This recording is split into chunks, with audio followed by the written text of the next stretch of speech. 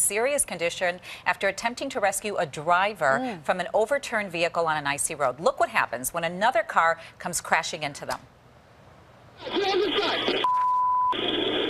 Oh my goodness.